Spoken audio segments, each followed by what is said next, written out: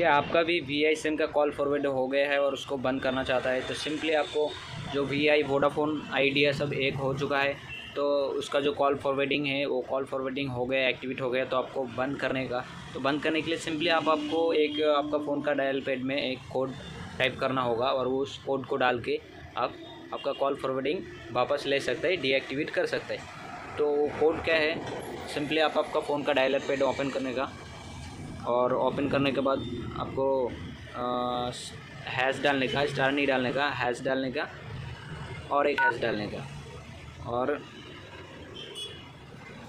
नहीं सॉरी मैं बोल देता है खाली एक हैश डालने का और उसके बाद आपको सिक्स सेवन दोबारा हैश डालने का। और ये हो गया अभी बंद करने का कोड तो सिंपली हम इसको अभी वी आई सिम से कॉल लगा देने का, ये कोड डाल के।